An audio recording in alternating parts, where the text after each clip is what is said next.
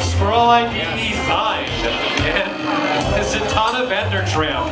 This collection was inspired by intergalactic travel, of break, and the sur- surviving spirit we can all find within.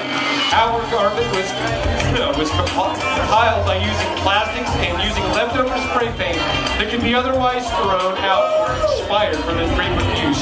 Although some of the individual pieces were made from discarded material, some were reconstructed from existing garments to create a new look.